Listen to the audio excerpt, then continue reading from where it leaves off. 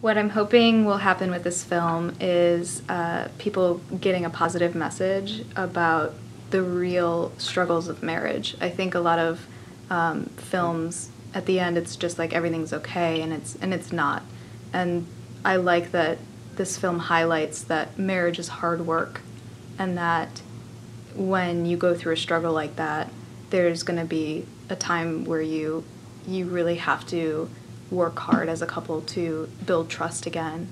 And um, I think it's a good lesson for people to see a, a, marriage that really is struggling rather than just some cookie cutter happy um, fake marriage.